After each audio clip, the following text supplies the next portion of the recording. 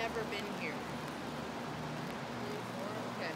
Just a really quick, brief history. Um, the High Line used to be an elevated freight train line.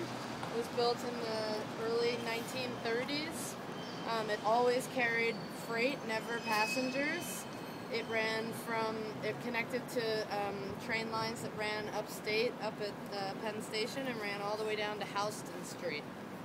Um, in the 50s and 60s, the city started tearing parts of it down.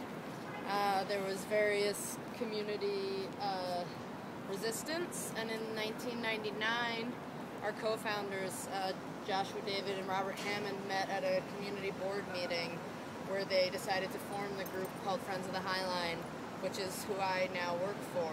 Um, when they formed the group, they didn't know what they wanted to do with the structure. They just knew that it shouldn't be torn down. It was a great historical relic in the city.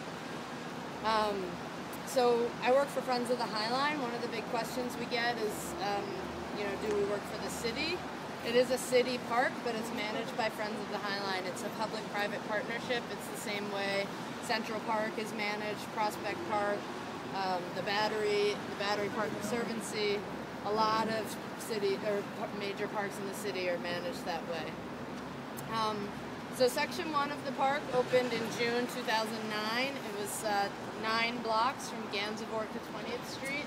If you ever came up, there was a fence up here and you could look through but never go through until now. So section two is another 10 blocks. It goes from 20th Street to 30th Street. Um, and that opened in June of this year. I've worked here since the park opened. It's been a continuing learning experience and continues to be. Um, so we're just going to move ahead. It looks like the next group is coming, but the first section that we're going to go through is a section called the Chelsea Thicket. So just keep your eyes for, you know, uh, wood